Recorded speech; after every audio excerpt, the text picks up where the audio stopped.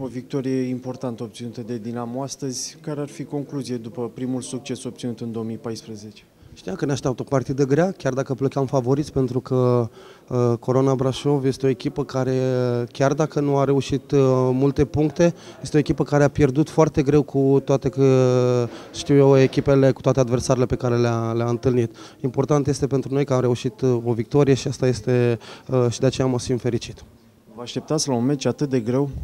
Da, eram convins, pentru că i-am, i-am urmărit și cu cei de la Chiajna, au avut o grămadă, o mulțime de, de situații uh, de a marca, uh, până la urmă uh, au terminat la egalitate și plus alte, alte partide pe care chiar dacă le-au pierdut, le-au pierdut la, eu știu, o diferență foarte strânsă de, de scor.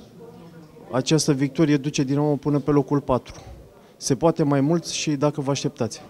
Până la urmă acesta este obiectivul nostru, acesta este obiectivul de a merge pas cu pas, de a urca în clasament și sunt, sunt bucuros că am, am reușit să ajungem pe locul 4. Vedem, vedem mai departe ce putem face.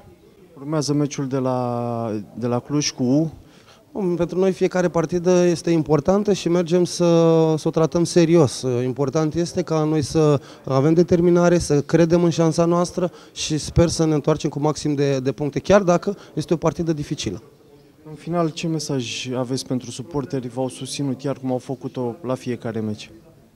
Ce pot să spun decât uh, atunci când se termină un meci și văd cântând, uh, uh, credeți-mă că mă simt în al, în al nouălea cer. Uh, bravo lor, sperăm ca și noi să ușor, ușor să-i mulțumim pe deplin, pentru că mai avem mult de muncă ca să, să ajungem la nivelul lor.